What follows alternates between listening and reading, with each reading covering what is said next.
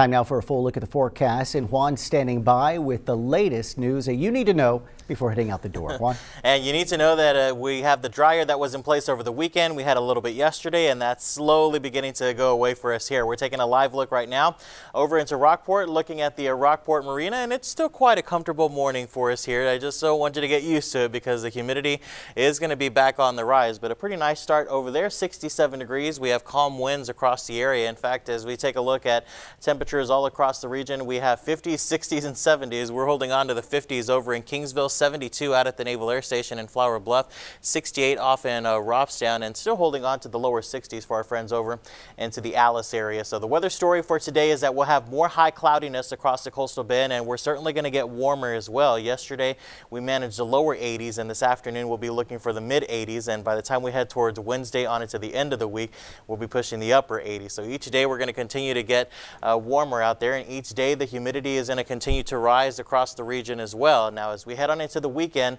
there is a very weak frontal boundary that will stall just north of the uh, coastal bend, and that's going to lead to just a few stray weekend uh, showers for us here. But they'll be a coastal in nature and stray in nature as well. Not looking at a whole lot of activity. I just want to point out that they'll be out there.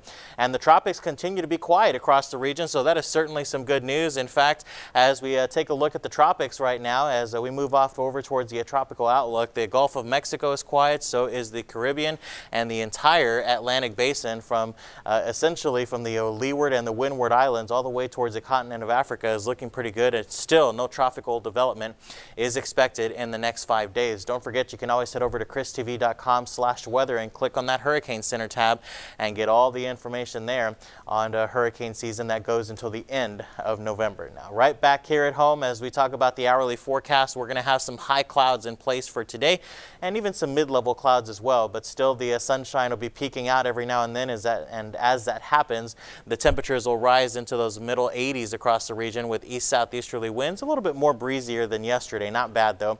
Only going to about 10 to 15 miles per hour. In fact we see it here on the uh, wind forecast. They begin to pick up at noon and that southeasterly flow right at about 10 to 15 by 5 o'clock. Those will relax as we go into tomorrow morning.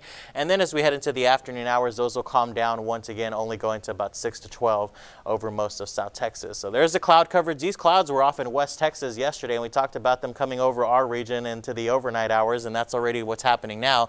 Frontal boundary over into the Four Corners area has a little bit of some cool air to work with. In fact, behind the front, temperatures are in the 30s and 40s.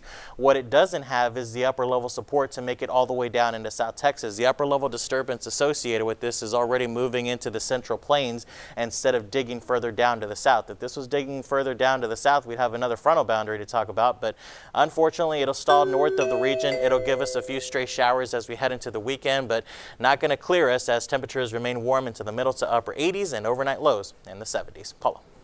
All right, not too bad. Thank you for that, Juan.